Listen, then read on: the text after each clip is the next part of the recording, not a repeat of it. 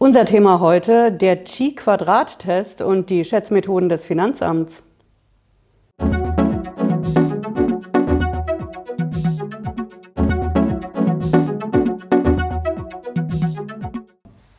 Hallo, ich bin Patricia Lederer, ich bin Rechtsanwältin in der Frankfurter Steuerrechtskanzlei Lederer Law.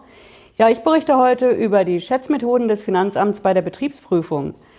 Das kommt ja immer wieder, dass die Betriebsprüfer in die Betriebe reinmarschieren und ordentlich hinzuschätzen. Die schauen gar nicht, was konkret in dem Betrieb los ist, was unterscheidet genau diesen Betrieb von anderen Betrieben, was wird da anders gemacht, weswegen zum Beispiel der Betrieb auch so erfolgreich ist oder auch nicht.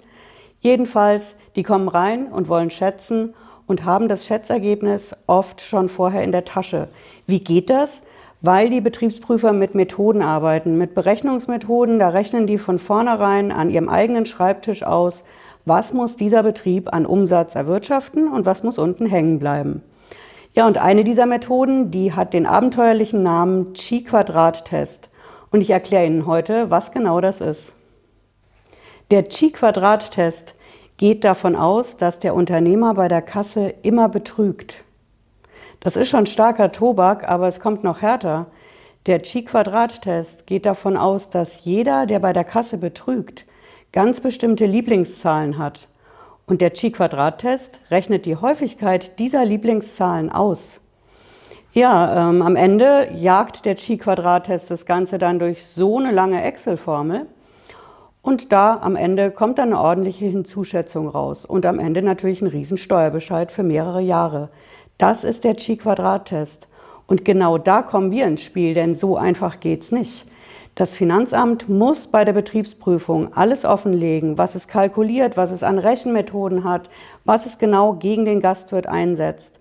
Und da reicht es nicht einfach zu sagen, ich habe den Chi-Quadrat-Test benutzt, sondern die Finanzbeamten müssen genau erklären, was dieser Chi-Quadrat-Test ist und was er mit den Unternehmenszahlen konkret in dem geprüften Betrieb macht und anstellt. Habe ich bis heute nicht erlebt, hat von meinen Steuerberaterkollegen auch noch keiner erlebt, dass ein Finanzbeamter das jemals offenlegen konnte. Und genau darum geht's ja. Das ist die Waffengleichheit gegenüber dem Finanzamt. Ganz klar, das Finanzamt meint, es hat was gegen mich in der Hand und das hat's geschätzt mit eben diesem Chi-Quadrat-Test. Dann muss ich mich aber dagegen zur Wehr setzen können. Das kann ich aber nur, wenn mir genau erklärt wird, haarklein, was da gegen mich vorliegt. Ja, das war unser Videolog für heute. Vielen Dank fürs Zuschauen. Wenn auch Sie schon Erfahrungen gemacht haben mit diesem Chi-Quadrat-Test, lassen Sie uns gerne einen Kommentar da oder ein Abo oder ein Like.